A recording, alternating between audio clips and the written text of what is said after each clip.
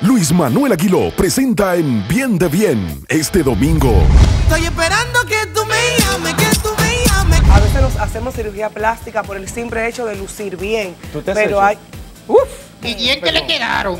Qué increíble, mi esposa es celosa. Yo soy celoso. ¿Tú eres celoso también? Sí, Pero sí. es para cubrir. Es un drama.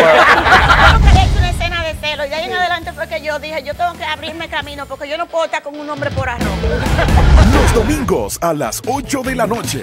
Por Teleantillas, eres tú.